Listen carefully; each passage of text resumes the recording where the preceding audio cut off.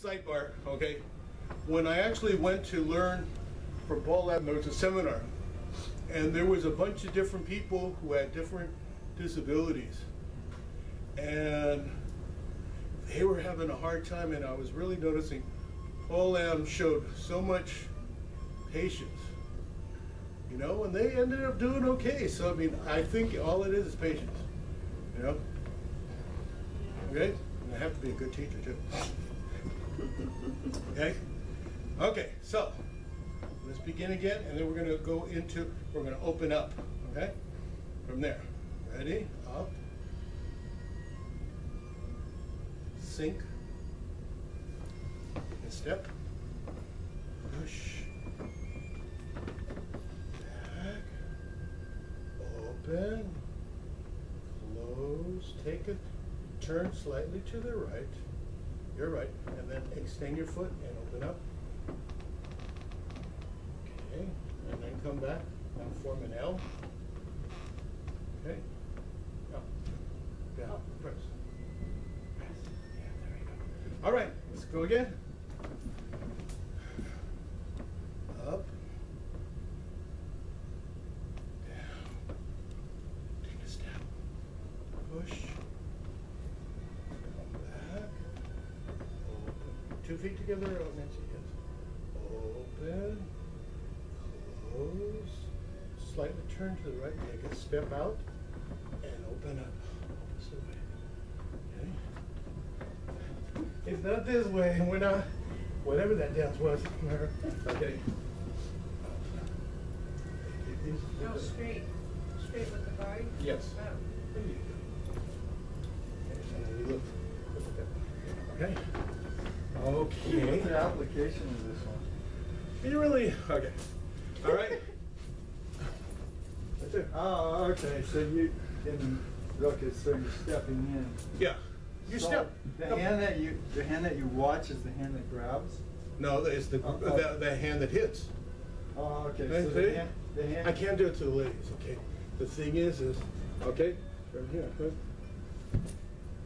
Oh, okay, so the hand that you watch, but I'm using this. the hand, okay, the arm that you watch is the the arm that pushes, basically. Yeah, Okay, and you stretch. No, but you also, see, you have to, the thing is, you stretch with the opposite hand. They're not dead hands. okay. Do you Yeah, feel yeah, that, you yeah, feel that pull? Yeah. Okay, I pull, because this, you're turning, you're taking, Okay. well, you're jumping up a step, but the thing is, is, Okay. okay? Forget about it? All right, ready? There's too many sidebars. Okay, ready? Up.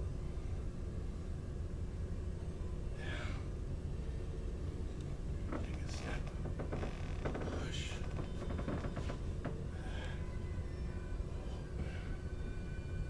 Close. Open up.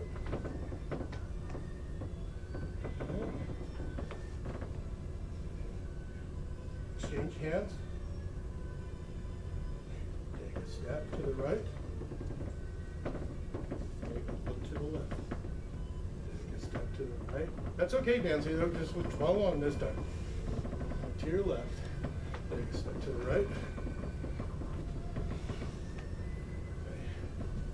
All right. Can you show the application of this one? I know we're getting sidetracked, but I think it's easier for them to understand how this move is Okay. supposed to work. All right.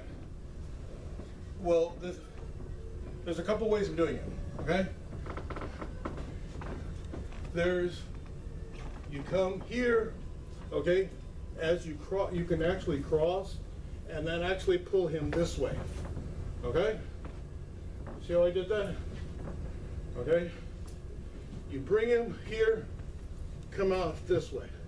This is slightly different from the straight. See, the first one is this way is here and just the whole forearm hitting in here. The next one is turning the person. Okay? Of course, my foot would be under behind your right foot. Okay? Okay, so let me, let me show what- like what I, my explanation of this one. This one is here, and then if you punch with another hand, Okay? Then it's here. You can do that too, Oh, okay. so that's. All right. Yeah. that- Okay, well, that's different, Oh, because this one is, okay, this is like a windmill, okay? It's gonna be lost on it, okay? Here, go, okay? See, and then curve, curves, okay? Curves around, okay? That's actually an attack. Okay, there's an attack and defense, But that's not what we were doing there. it is, Oh, it is the same, okay. it's windmill. But you're going, okay, but we're doing more for health. Right. So when you actually do it to, uh, for aggressiveness, then it goes forward. You practice sideways, they do it, they do it specifically, so people won't understand. Okay, I should mention, a lot of stuff in Chinese martial art is done to fool you. They want to keep everything a secret. All right? We don't have to worry about that. No We're only gonna go for No problem here, I'll stay secret. No, we're only gonna go for help. No, because see, the thing is, okay, before, you know, we're talking about China when it was the Qing dynasty. Uh, that was like, what, four or five hundred years? And it was very a lot of law, lawlessness in China.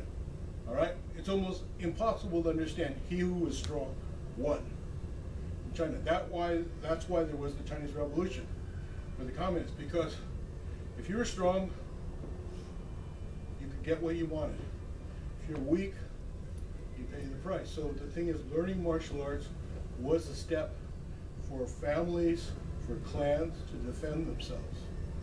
And at the same time, they didn't want anyone to know their true meaning. So a lot of stuff that they did, only they would tell you the secret, and you would practice it, but to the outside world, it looked very different.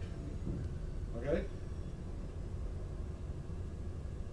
So the thing is, is, but we're not into any of that. I mean, what I learned for almost, what, thirty-five years is, uh, was martial art that was secret.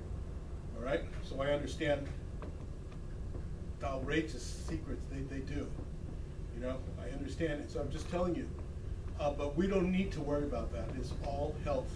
And it's really health. This is really good because it does the weight, the, the exchanges of weight, the exchanges of waste of, of uniting the upper and uh, lower part of the body. And those are actually more important. You know, because let's put it this way.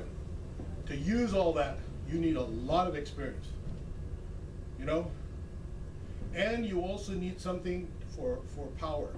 The thing is, if you only did Tai Chi and didn't do a weapon, all right, the weapon not being important is actually the weight and the extension of the weapon that actually could actually extend your power. Okay, so that's why weapons are still done in, uh, in the Chinese martial arts, especially in Tai Chi, they use the sword. And that's actually to extend the strength, to build up more strength. Okay, that's a real good, where, is it? Where's my stupid thing? There it is. Okay, like I was showing you that technique, all right, stepping. So actually, the thing is, is actually step, come around, take a step, push and out. Step, push and out. So this is actually a blade thrust and a slash, okay? But that's not important. What, what's, what's important is the waist. It's to extend the waist out, and again, extend and extend the waist. See how the waist is turning? That's the important thing. Because you're not gonna walk around with the sword, although I can have a cane. But it- certainly not gonna walk around with a hopefully we will never be attacked. And, and actually, here's the other thing you have to understand. If you're 70 years old and over, 65 and over, if you get fall down, if you, if you get knocked down, nothing, you know, I don't want to say anything negative, but if you get knocked down, uh, you're probably going to hurt your hip or your hands, because most of the time people go up with their hands. They break their wrist. Collarbone, I fell down two, I don't know, eight years ago where I broke Yeah. my collarbone. And then, oh, the, okay, collarbone only needs eight ounces of pressure to break it from the inside. This will take a lot of force. If you're watching football, they blast. You get it behind, or you turn it in a certain way, the collarbone is certainly very weak. And that's, you know, I hate to say it, but, so the thing is, what should you train for? You should train for balance. Balance would be the most important. If, if you were attacked, you would actually, you don't want to defend. You want to save yourself, so you want to have, actually have a balance. That's how I look at it.